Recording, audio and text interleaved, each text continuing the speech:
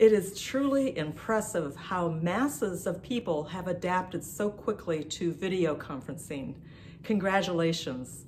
I wanted to just take a moment and because I've experimented with this stuff over a number of years and I've learned some tips that I'd like to pass on to you. And keeping in mind, I'm not about perfection because perfection is the enemy of progress. But there's a few little tips that I've learned that I think can really improve what you, how you come across in video.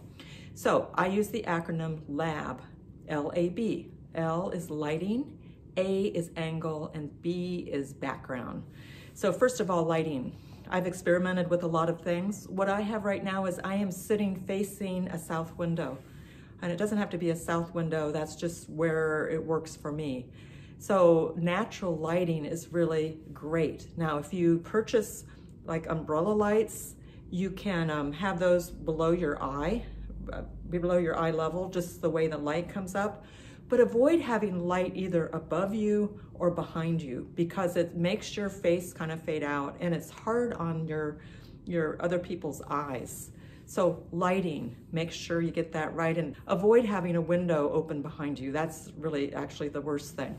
Okay, that's L. A, angle. A lot of times people are looking at laptops. You even see this on the nightly news and they're looking down. And that's not a really great angle in terms of, of projecting to your audience.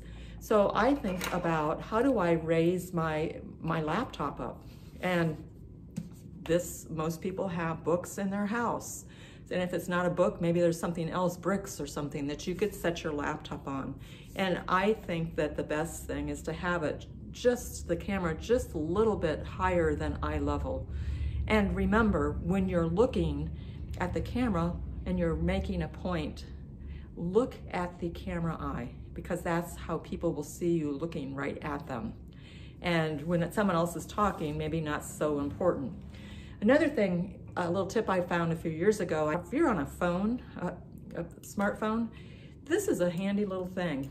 Um, all you do is you put open it up, put your phone in there lengthwise, sidewise, and then bring this up. And what it does is it makes a really nice little table to hold your phone upright. So again, angle is really great. It's, sometimes it's hard to have that iPhone or whatever phone you use at the right angle. So the other thing about angle is to think about your posture. You know, I see a lot of people doing this and and sure, you're tired, you've been on the phone, you've been on these things all day long, but notice the difference in how I appear when I when I sit up straight and watch my posture.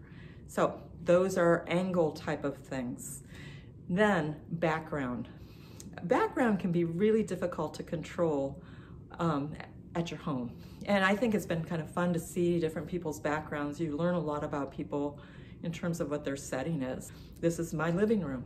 And you know, my company's Spiral Impact, so I have a spiral lamp here. If you know me, my work is, is grounded in the martial arts. I have that appropriate art on the back wall. Um, is it the message you want to convey professionally is the question.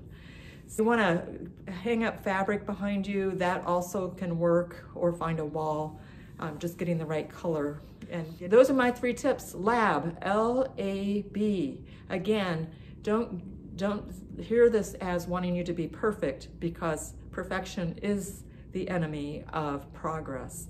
Thank you for hanging in there with me and um, be well.